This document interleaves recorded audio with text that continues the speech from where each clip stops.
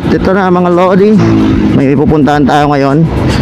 At mukhang nakita ko tong tropa ko dito. Naka NMAX version 2. Ayan oh, pogi oh. Yeah, nandito rin yung isang tropa ko. Oy, kinana, shout out. Punta ako sa Pugo. Punta ako Pugo. Shoutout tayo, Mar? Ha? Shoutout ka na ni. Dok vlog ko. Shoutout dam ha? Kita ko ko maka umayak pa. eh. Panak Pugo eh. Yan ti barkada. Dapat kang camera. Vloggeries. Okay, panak pa. eh.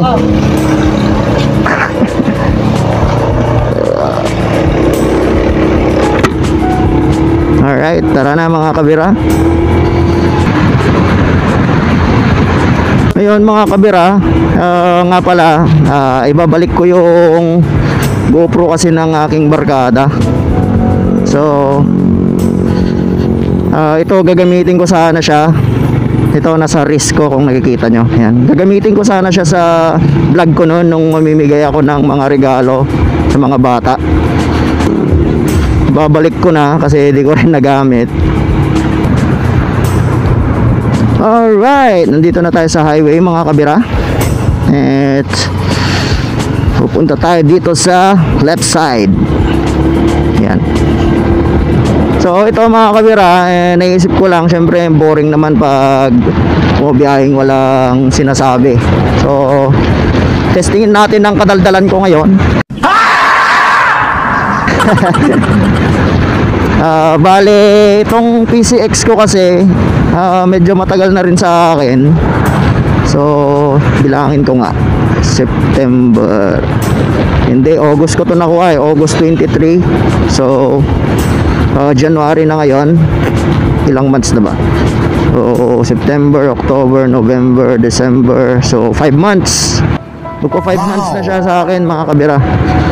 Kaya ito, ah, may nagsuggest din sa akin na ito eh, matagal na kaso ngayon ko lang ma magagawa. Yan, eh, pag-usapan natin ang 10 di ko nagustuhan sa aking PCX 160 2021 model. Ah, disclaimer lang pala mga kabira, ah, ito ay based lang sa aking opinion at na-experience dito sa aking PCX, no? Ah, share ko lang. At shoutout sa nag-suggest ng content na to.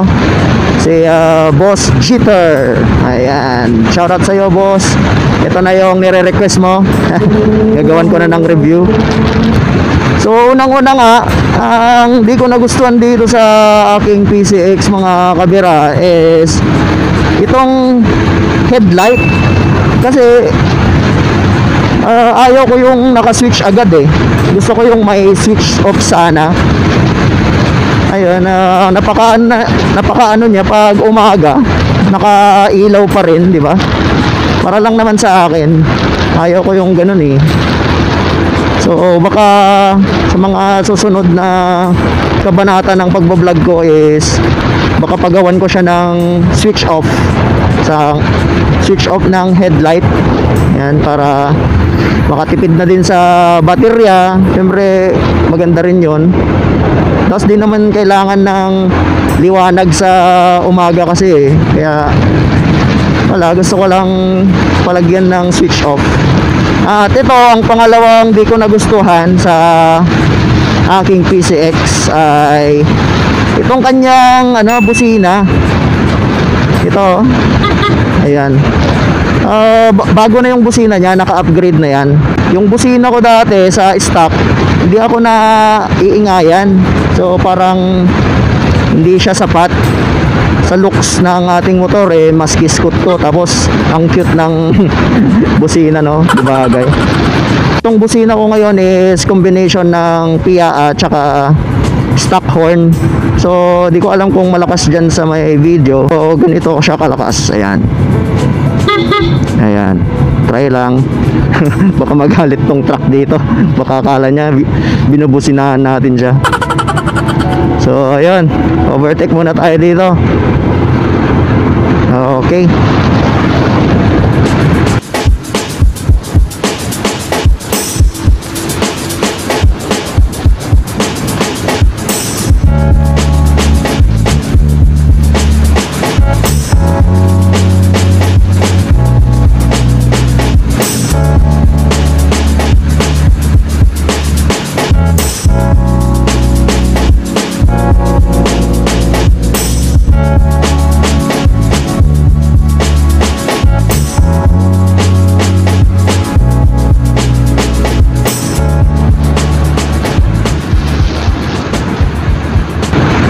Ayun, yun na nga sa busina mga kabira.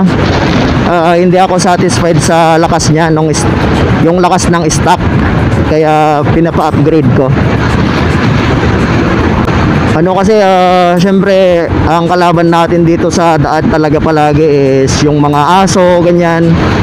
Na-try ko na kasi yung iba't ibang motor, tapos yung pag-stock yung pag-stock yung busina, kahit busina ka ng busina sa mga aso, wala pa rin. So nung in-upgrade ko siya, isang busina lang is talagang umaalis din yung aso. Pero mas maganda sana kung ano no, yung G-Star. Shout out. Baka naman. G-Star horn. At ang pangatlo na di ko nagustuhan sa aking PCX ay ang kanyang side mirror mga kabira ito Ah, kung pansin nyo is ah, iba yung side mirror ko. Side mirror to nung rider ko eh. So yun yun yung kinabit ko dito kasi masyadong malaki yung ano yung side mirror ng PCX yung stock niya. Wala para lang naman sa akin hindi ako nag hindi ako nagagandahan. Kaya ayun ito yung nilagay ko. Ah, so far parang okay naman siya ayan tamang tama lang.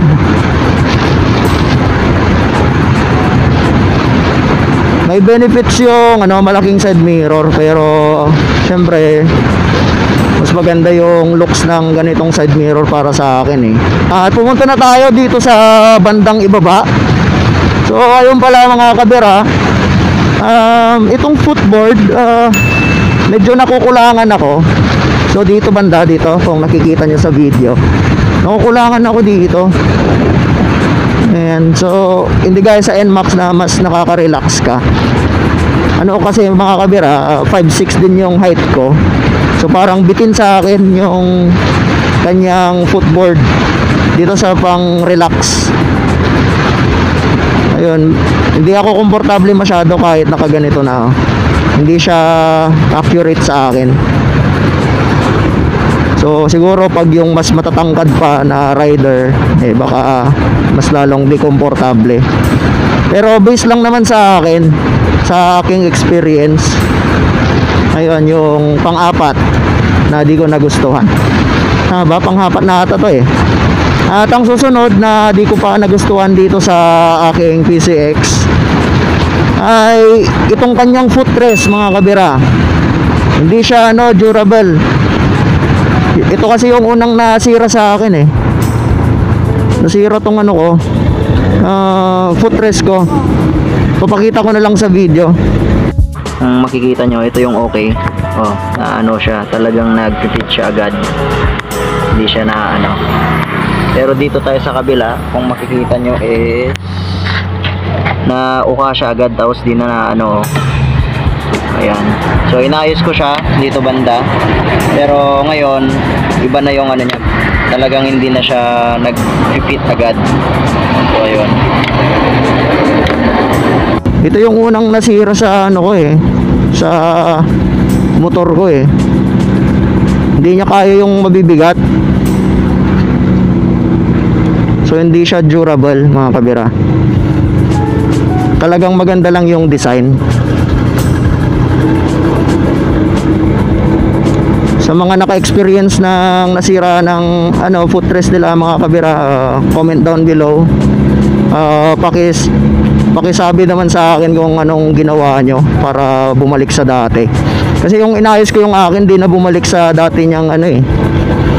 Dati niyang posisyon, kumbaga hindi hindi na siya ano, hindi na siya masyadong kapit.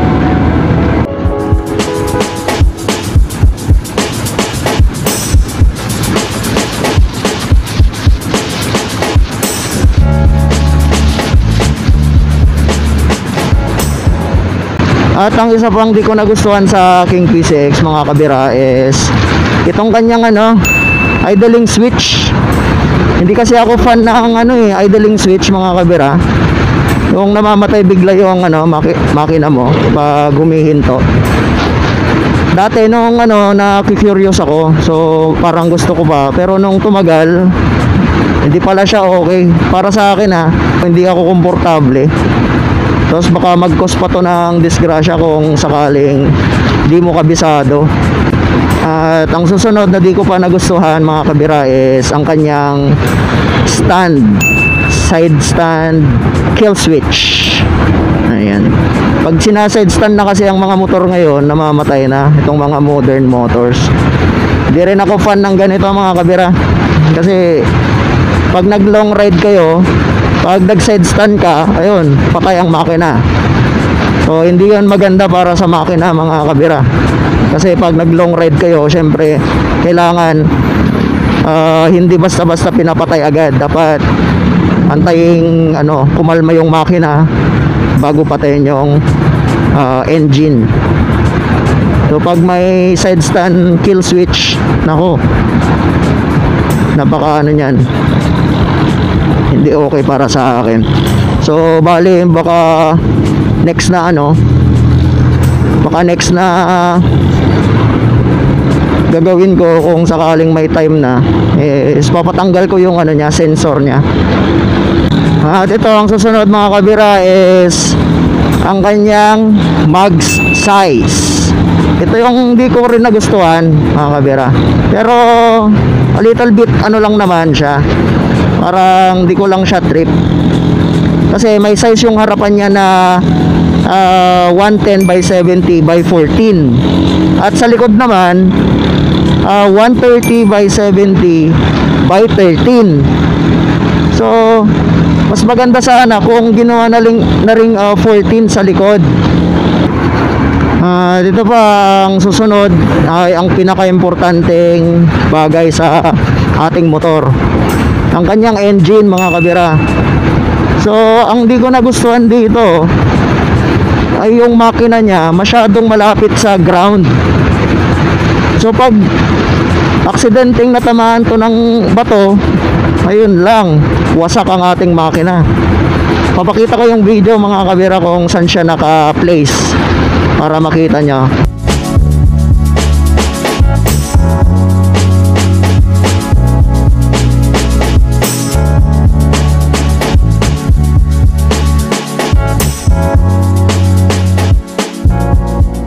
Masyado siyang malapit sa ground eh.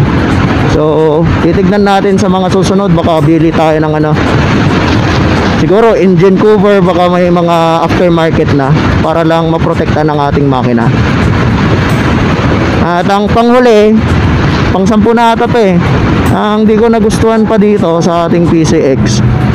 Ayan, ah, dito na tayo. Ito pa yung di ko nagustuhan, no? Nagbabibrate siya. Pag naka-stop, malakas yung vibrate niya. Hindi halata pero ayun, masyado siyang mabibrate mga kabira dito sa harapan. At yun na nga, ito lang muna yung aking vlog for today. Ah, share ko lang yung mga sampung di ko nagustuhan sa aking PCX. Ah, within 5 months ko nang ginagamit. Ayan. Hanggang dito na lang muna mga kabira. Stay alert and ride safe always. Bye now.